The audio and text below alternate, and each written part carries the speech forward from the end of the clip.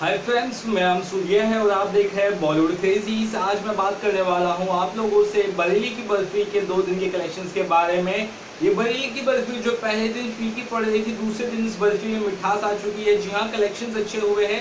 पहले आपको बता दूँ, इसका स्क्रीन काउंट 1200 स्क्रीन पर रिलीज़ हुई थी और पहले दिन इसने 2.42 करोड़ की कमाई की थी, लगभग ढाई करोड़ के आसपास की। और दूसरे दिन का कलेक्शन अच्छा है 3.85 करोड़ की कमाई की है। जी हाँ 3.85 करोड़ यानी कि लगभग लगभग चार करोड़ के आसपास की कमाई की इसके साथ ही फ़िल्म का टोटल हो चुका है 6.27 करोड़, यानी कि सवा छह करोड़, जो कि एक अच्छा खासा कलेक्शन मैं कहूँगा।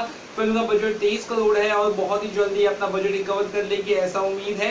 और संडे कलेक्शन भी अच्छा आने की उम्मीद है, क्योंकि ऑडियंस और फ़िल्म क्रिटिक दोनों को ये फ़िल्म पसंद आई है। तो आपकी इस फ़िल्म के बारे में क्या राय है? और कलेक्शन से आप कितने सेटिस्फाई हैं इस बेटी शर्मा और साथ में चिराग दुबे और प्रीतम विद्रोही की इस फ़िल्म को देखकर। आप ज़रूर कमेंट बॉक्स में बता सकते हैं। इसी तरह की वीडियोस आगे भी देखने के लिए चैनल को सब्सक्राइब करना भूले। साथ ही मेरी वेबसाइट बॉलीवुड पर विज़िट करना भूले बाय बाय